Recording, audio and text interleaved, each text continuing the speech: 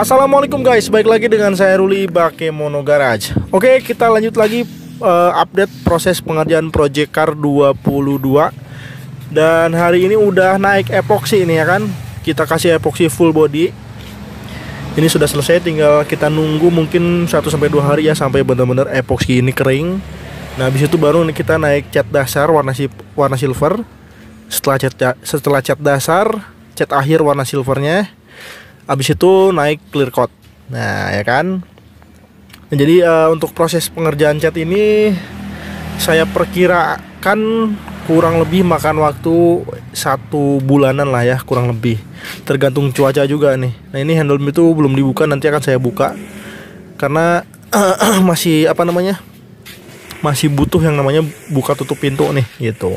Nanti setelah proses uh, naik cat dasar dan dan juga cat akhir itu bakal kita buka supaya hasilnya uh, apa namanya oke. Okay. terus ini untuk nut bumper depan sudah oke okay ya. Nih udah saya benerin. Jadi pertama mobil ini datang tuh uh, nut bumpernya kena dia ya kan?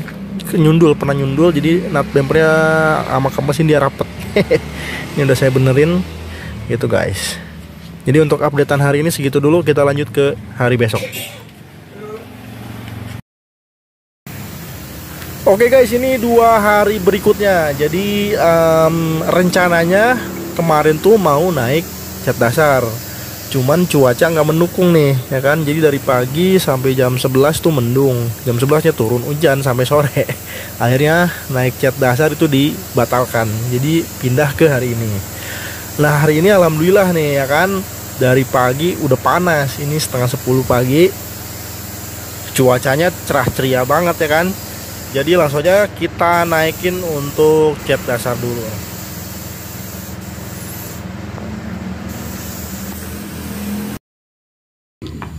Oke guys, sementara mobil masih dicat. Nah, ini saya mau ganti dulu kulit setir, ya kan? Jadi kulit setir bawahnya itu udah pada botak kayak begini.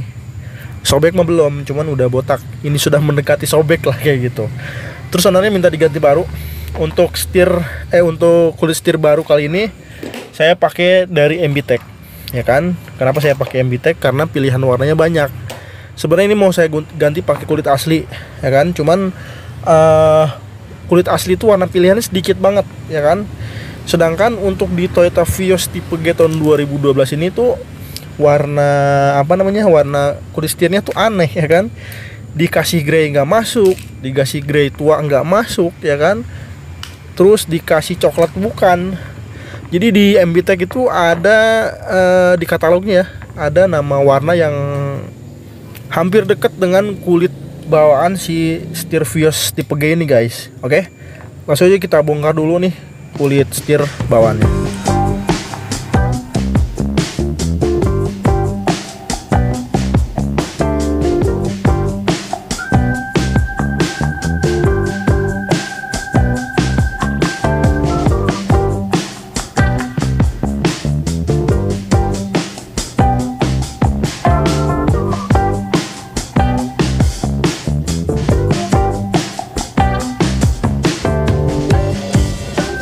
Oke nih kulit setir bawahnya udah dicopot dan ini saya mau ganti baru.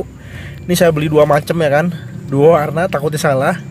Ini yang sama-sama MBTEK, yang satu warna grey tua.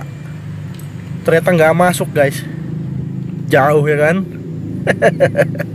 Jadi warna grey ini nggak akan saya pakai. Nah satu lagi saya beli warna iguana. Nah, ini warna iguana ini udah deket tuh, cuman masih kurang gelap juga ya kan. Jadi di katalog MBTEK-nya nggak ada guys yang paling gelap dan mendekati ya ini warna iguana ini. Oke?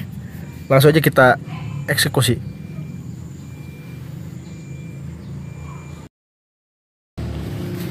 Oke ini hari berikutnya. Jadi kemarin tuh keburu maghrib. Jadi kita lanjut hari ini aja. Nah ini untuk kulit setir bawahnya udah saya potong-potong. Jadi tinggal kita jiplak aja polanya. Nah ini untuk setirnya belum saya bersihin. Dan ini untuk steering kontrolnya guys ini warnanya juga udah pada kayak begitu. Nanti kita repaint semua ya kan? Supaya hasilnya lebih rapi. Oke sekarang kita bikin dulu pola. Habis itu kita potong-potong. Terus kita jahit. Habis itu tinggal pasang deh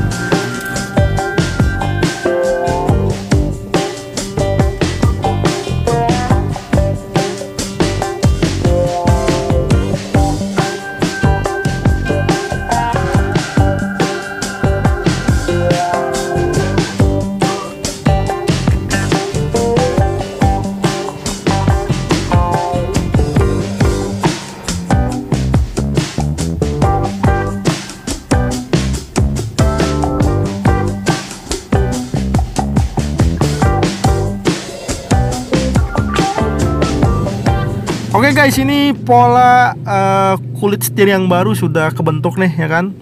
Jadi ini tinggal kita jahit, habis itu kita pasang ke setirnya. Oke, untuk proses jahit kita skip, langsung aja ke proses sesudah dijahit.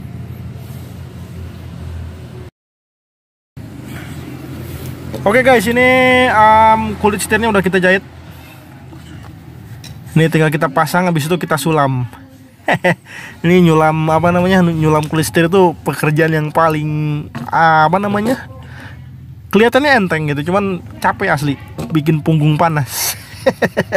Oke langsung aja kita pasang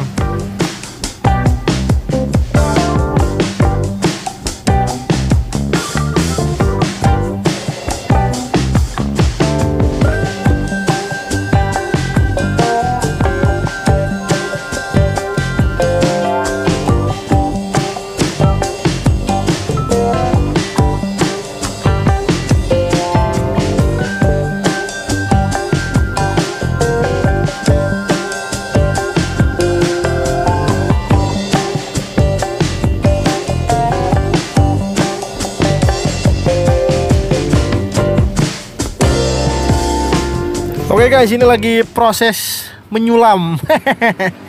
ini adalah proses yang bikin punggung sakit asli, cuy. Oke, nih.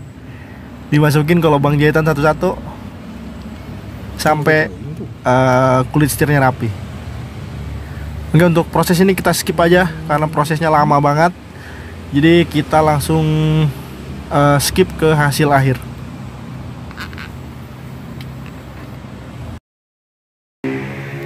Oke guys, um, ini udah kelar. Jadi untuk proses nyulam apa namanya nih kulit setir itu saya dari setengah dua sampai jam 5 sore nih. Lumayan nih bikin punggung panas ya kan dan hasil jahitannya seperti ini. Ini full handmade, wih di ya kan. Nah kurang lebih seperti ini hasilnya. Dan um, sekarang mungkin saya mau lanjut dulu repaint ini nih. Ini kan udah warnanya udah butek juga tuh ya kan yang ini udah botak parah malah nih oke ini saya mau ngeripen dulu ini nih mumpung uh, masih siang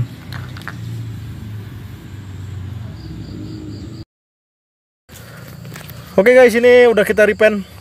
Nih, ya kan? Sekarang catnya bagus, lebih cerah, ya kan? Terus yang sebelah sini Oh, ini belum nih. Kipetnya nih ya kan? Terus cara bongkar si tombol ini tuh gampang. Jadi kayak bongkar stick PS1 tau gak sih? Jadi kurang lebih kayak gitu. Oke sekarang kita langsung aja pasang balik ke setirnya